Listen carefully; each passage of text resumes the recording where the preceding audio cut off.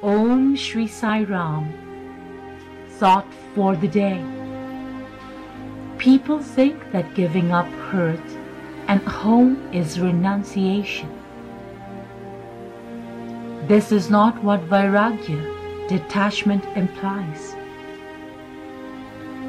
Whatever we do should be done in a spirit of goodwill and service.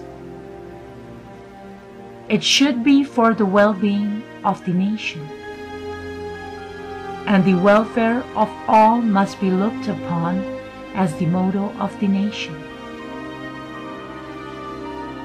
From very early times, Bharatiyas have lived up to the ideal, may all the worlds be happy. To uphold this ideal, rulers, scholars, sages, and everyone made many sacrifices.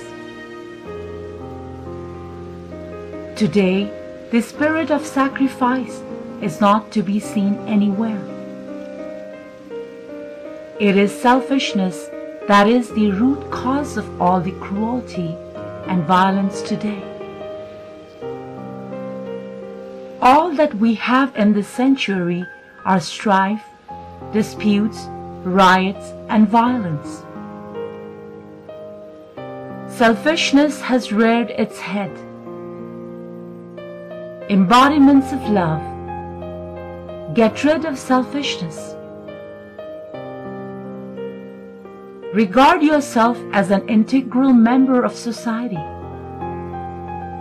Develop the faith that your welfare is bound with the well-being of all.